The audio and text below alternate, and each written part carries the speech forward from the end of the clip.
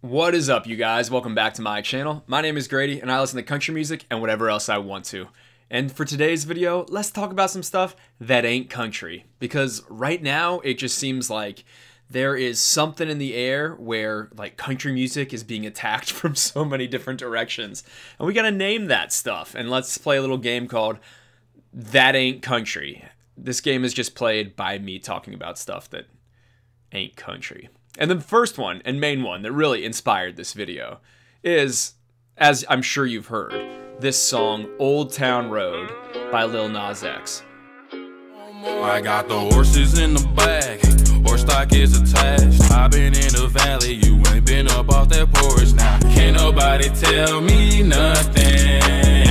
So this song is a meme. Lil Nas X is an Atlanta-based rapper, and he put out this song called Old Town Road last year, and it has kind of become a TikTok meme. Yes, TikTok. Country music TikTok. We're back here. I have a whole video on this, and at the time that I recorded that, uh, the the horses in the back meme had not happened, but now there's like a thousand videos like this. No. I got the horses in the back, stock is attached. They're all very cringy. They're all very dumb. It's just a fun meme where kids are putting on cowboy stuff. But this song is now becoming a real legitimate hit. It's like the the early 2019 Harlem Shake is this kind of like I've got the horses in the back meme. And it's not going to live for a long time, but it's certainly blowing up right now. And where it's really blowing up is on the country charts. And that's kind of whack because this is a rap song. Yes, it is loosely about a cowboy. It's about a guy on his tractor drinking purple cough syrup, looking at boobies in a Gucci cowboy hat. And artists can do what they want. If that that's an artist's prerogative to make that song, and it's a listener's prerogative to buy that song. I'm not actually even mad at Lil Nas X at all for making this song. Who I'm mad at is like the gatekeepers over at iTunes and over on Billboard that are letting this song chart as a country song.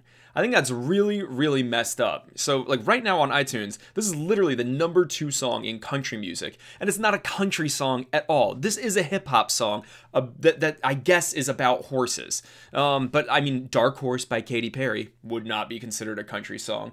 Uh, Wild Horses by the Rolling Stones also not a country song. And I don't get why we're letting this song be considered a country song. This is a trap song. It, it I mean, it has a trap beat. It is a rap song. I mean, it, country music is about stringed instruments, simple melodies, and, and vocal harmony. Those are kind of the musical hallmarks of country music. But there's this whole rise of like yeehaw culture right now that is basically just the fashion of cowboy stuff. And and cool. People can have fun and dress up in that stuff, but people are trying to make like yeehaw culture like a whole movement. And it, it's so stupid. I mean, it's going to be a flash in the pan, but it's really, really frustrating to me that uh, Old Town Road is being allowed to be kind of popularly considered as a country song because I think that really does damage to the whole genre. As much as country music sort of opens up the gates and says like oh we're going to allow anyone to say whatever they do is country that really starts to eliminate like a lot of boundaries that are there for a good reason i mean genre boundaries in some ways artists think that they're really annoying but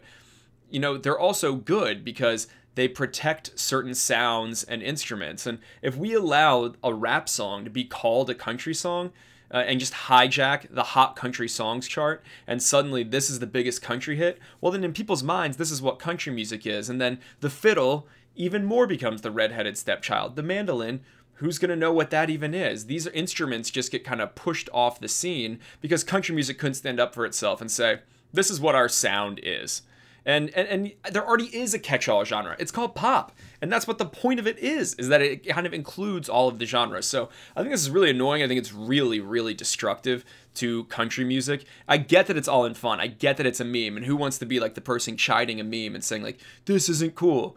It's funny when people are making those videos, but I'm really annoyed at, at, people like Billboard letting this just be called a country song. When three years ago, Billboard, remember when you wouldn't let Green River Ordinance, who's a band out of Texas, even chart on the country chart when they had to be on the folk chart because for some reason this wasn't country enough for you?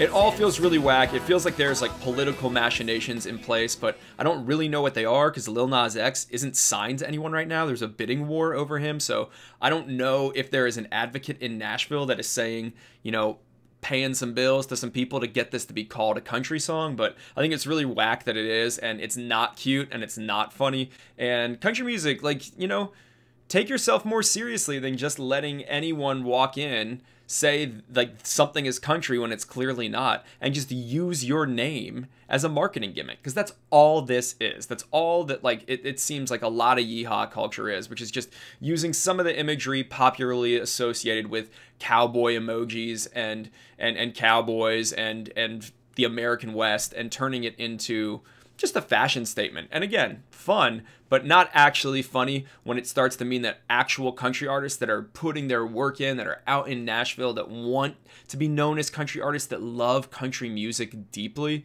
and its traditions deeply and its sound deeply and are simple little storytellers, when they're getting pushed down the chart for a meme rap song, that's messed up and that ain't country. Quick update to this story. I was about to post this video, but then the new Billboard charts came out, and Billboard has made the correct decision to take Old Town Road off the country charts. That's awesome. Good work, Billboard. Uh, sorry about the little rant I just made about you, but I'm still a little salty about Green River Ordinance, and I think it's kind of weird that it happened in the first place.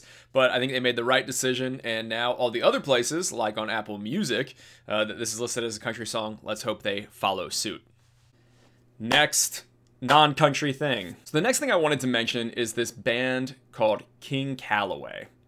King Calaway is someone that you may have heard some like rumblings about them if you follow kind of the country Twitter sphere in the last few months because they're these guys that are being marketed as a country boy band. They're started by Robert Deaton, who's one of the executive producers of the Country Music Association and the CMA Awards, and uh, his son is in the band. And then there's some guys from England, some and they've some from America, and they've been assembled into this country boy band. And it feels like they've got the red carpet rolled out for them in Nashville, and it's been very interesting to watch. They have a new song called "World for Two, which last week was the most added song at country radio. Make a change, make a choice, all the noise we can drown it out. So uh, the industry is is embracing these guys, and they got to make their debut live performance at the Grand Ole Opry, at the freaking mother church of country music. So what I find really interesting about King Calaway, other than the fact that, um, you know, it's just generic pop music. This is like Ed Sheeran light, and not, they, they sound fine, to be honest with me. Like they they really do sound fine. They sound like a pop act. They sound like they want to be Ed Sheeran, and they're so overstyled that it's kind of cringeworthy to just look at look at it. But what I really hate about kind of King Calaway's arrival onto the scene is that all of the marketing around it is really boasting in the fact that this is an assembled, inorganic product of a band. You know, there's these like loving articles in Billboard. Uh, how King Calaway are bringing the boy band to country music. And it's talking to like the you know, the guys that assembled them who like Robert Deaton and John Schoen and Jason Halbert, these big like music directors and stuff and how they found these guys and put them together and had them record together. And it feels like you're reading an article about the history of NSYNC and they're very proudly and excitedly saying like we want to stretch the term of what country can be. We want to put uh, we want to put a boy band out there. And you know it sucks because country music the whole thing that makes it beautiful and the songwriting beautiful is it's about real life and boy bands, by their very nature, they're kind of about the fake, escapist, manufactured product. You know, that even is kind of the fun of when you were a fan growing up. Hello, I had every Backstreet Boys album growing up, and it was kind of fun knowing they'd been put together and kind of like had to figure out how to become friends, and they had to learn how to dance, and they had to, you know, all that stuff. That that's part part of the product. You're buying into it. And it, pop music is a great platform for that. That's kind of a lot of people's entry point are these sort of really, uh, like silly in a way, manufactured pop acts. There's a place for that in music. Now, I don't love that it's coming into country music, and I don't love at all, in fact, I hate that the industry is so just sort of like fawningly allowing this to be the norm where it's like okay here's a completely you, you, don't even have to go digging for it. You don't have to be a reporter to see okay well this guy's son is in the band. He's a very powerful man in country music. They're calling it a boy band. They debuted at the grand ole opry. Their video premiered on people.com i used to work for time inc uh, who owns people. Now i think they're owned by meredith. But you know, People's one of the biggest sites in America. You don't get to just debut your debut video on People uh, without some major industry connections. And so it all just feels very predetermined. It feels like the fans don't even have a say in whether or not this song becomes a hit. Now country radio's on board. Now they're getting these fawning profiles in Billboard it's frustrating because it feels like, as country fans, we keep getting pushed further and further and further outside of the mainstream conversation, despite the fact that bands like Turnpike Troubadours are blowing up, despite the fact that Cody Johnson is selling tens of thousands of tickets at the rodeo, despite all of these things. Like it, it, just feels like, or that people loved Kacey Musgraves for years before finally, by her winning the Grammy, country radio was forced to get on board. It, it just feels like the industry doesn't care what the fans actually think, and they're gonna do what they want to do and chase the dollar, and that's really, really, it, it just makes it frustrating, and it feels like the fix is in. And so that's totally what King Calaway feels like to me. And and even like, you know, uh, we don't want boy bands in country music. It's not about the manufacturing of it. And maybe I'm naive to think that not everything has been manufactured for a long time, but I don't think so. At least at least they're pretending though. At least they're pretending it's not all manufactured. Who wants like who wants this? Who wants this? This high fashion international supergroup that wants to stretch country music. Doesn't that feel presumptuous to you? So, man, whatever. That ain't country. Next non country thing. Finally, the last story today I want to talk about is one of my favorite country artists who's now just somehow gone off the deep end, and that's Zac Brown. Zac Brown Band is just putting out some weird music right now. Someone that I used to know. So Zac Brown Band currently is pushing the single "Someone I Used to Know" that is like a Avicii-ish pop song, and it has like a whole drop of like that does not sound as good as a regular pop track would, and and fans aren't really cottoning to it, and it's also confusing because Zac Brown Band has been so rootsy their whole career and so outspoken about being instrumental and um, authentic and organic in their sound and uh, even called out Luke Bryan a few years ago and said that "That's My Kind of Night" was the worst song he'd ever heard. But now it feels like Zac Brown has, you know, like become very LA and he works with John Varvatos and he's gotten into fashion and then he had this kind of pop act Sir Roosevelt and that was confusing because it felt like he did a 180 a couple years ago but then he did another 180 and made an album called Welcome Home that was kind of like a back to your roots album. There was even a song on there called Roots, roots that was like it felt like a reassertion of okay, we have found ourselves again in our musical style. But now we've done a 180 again, and Zac Brown is now making pop music. And he's not only making this song, Someone I Used to Know, which has been out for a few months, and it's in, even included in my Snaptrack video, but he's got another new song out now called God Given that is uh, a pretty cringy song to listen to, where he's talking about.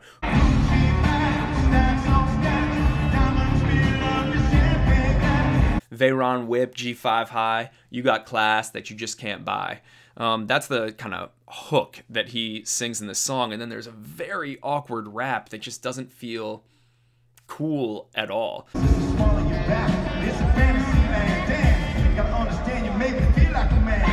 It feels very forced. And it has me looking at the Zac Brown band like they're the new band Perry. Like they're a band that had this cool sound and a unique lane. They were kind of this almost jam bandy, really heartfelt, lush, rich musical band. And now it feels like they are just, they have decided they see themselves differently, or he has decided he sees himself differently and wants to change his image, almost just in an act of rebellion.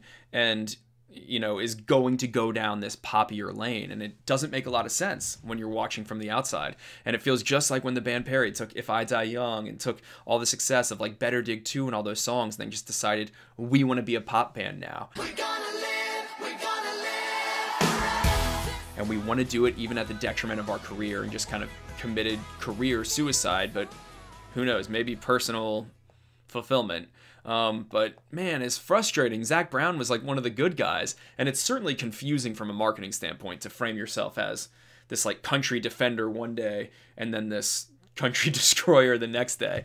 I don't get it at all, but um, I feel like Zac Brown has gone a little bit crazy, and I don't know if that's to do with the divorce uh, or or to do with whatever's going on, but this just isn't him at I don't know. It isn't him at his best. And again, I, I think artists should do what they want, but um, we're talking fan to fan here, you know, not Grady to any artists. We're talking fan to fan about country music, and it bums me out to see because I freaking love Zac Brown Band. I really, really think that they brought. You just think of Highway 20 Ride, you know, think of Free, think of Sweet Annie, think of how those songs make you feel, and think of the booming harmonies, and think of the gorgeous music and the soaring vocals, and then think of Gucci bags, stacks on stacks. Like, who wants that? who's asking for that from Zac Brown? It, it just makes me sad, you know? It makes me sad. And I feel like, what's happening? There's like a lot of there's country music today. I just feel like it's getting attacked from every direction. We got Old Town Road is our number two country song. We got Zac Brown wearing crazy hats and singing pop music out in LA. We got King Calaway, who is just the ordained new kings of country music um, by being a boy band. It's just it's sad. I'm just feeling sad today. So um, all that ain't country. It ain't country. And so I'm going to go back to, you know, listening to my Cactus Blossoms record that I was listening to today, um, and just, you know, embrace country music and what country music can be and should be. And there's so much good stuff getting made, but man, some of the stuff right at the top of the industry right now it ain't country and it's using the name country and it's getting real confusing for a lot of people and there's a little rebellion brewing you can feel it and and that's the beauty of the internet even as you know the internet has also brought us Lil Nas X uh, being a big new country star. So people are finding the stuff that's good. I trust that we can find the stuff that's good. We'll find the stuff that's good together. And uh, sorry if I'm a bummer, but let me know what your thoughts are on all this stuff. These are just my opinions, and I would love to know what you guys think about all of these songs kind of encroaching in country music right now. Be thoughtful, and uh, I'll see you guys very soon. Later.